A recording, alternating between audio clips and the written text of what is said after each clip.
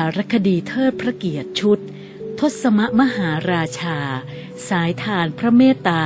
สู่แผ่นดิน เรื่องเล่าจากพลโทนายแพทย์ธำรงรัตแก้วการ นายแพทย์โดยเสด็จในราชการเฉพาะกิจ เรื่องทรงฝึกหน้าฐานทัพฟอร์ดแบรกหนึ่งในสถานที่ปฏิบัติการทางทหารที่ใหญ่ที่สุดในโลก เรื่องฟอร์ดแบกนี่เนี่ย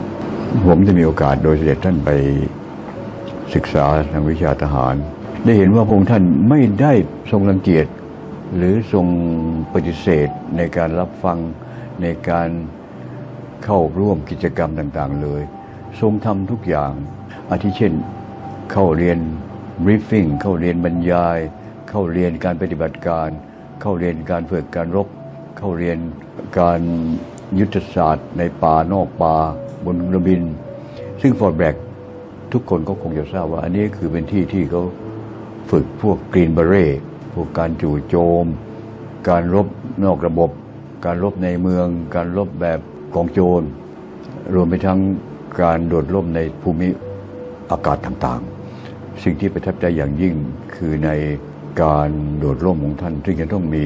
ทั้งสามรูปแบบในวันเดียวกัน อันนั้นมีความทั้งประทับใจตระหนกตื่นเต้นก็คือว่า วันนั้นจะเป็นวันที่มีการโดดร่มเพื่อจบการศึกษาทางด้านโดดร่มก็จะต้องเป็นโดดร่มทั้งสามภูมิอากาศ เมื่อส่งพวกท่านขึ้นเครื่อง ก็มีข่าวเข้ามาทางพื้นดินว่า เราตรวจพบว่ามีการชำรุดของไอ้เครื่องร่มอยู่อยู่จำนวนหนึ่งแต่ไม่ทราบว่าชุดนั้นเนี่ยอยู่ตรงไหนไอ้เราก็ ตกใจไม่รู้ว่าจะเป็นเครื่องที่ขึ้นไปข้างบนนั้นหรือเปล่า และข้างบนนี่อยู่ที่ใครก็ไม่รู้ข้างล่างเขาติดต่อไม่ทัน ก็ต้องเหตุการณ์ต้องเป็นไปตามกำหนดการ คนแรกที่โดดลงมาล่มกลาง แต่ไม่ใช่ท่าน คนที่สองโดดลงมา ไม่กลาง แต่ว่าสักพักหนึ่งกลางปรากฏเป็นท่าน โอ้เราหายใจโล่งอกเราเราขอดูเพียงแค่ว่าท่านลมล่มกลางเราก็แฮปปี้แล้วก็กลับมาก็ร่มทางอากาศสภาพปกติ ต่อแล้วแล้ววันนั้นเองต่อมาก็ไปโดดที่ในสภาพที่มีหิมะ โดดไปในสภาพที่มีฝนสามสภาพเดียวกัน เสร็จแล้วตอนเย็นผมได้มีโอกาสเป็นสักขีในการประดับถวาย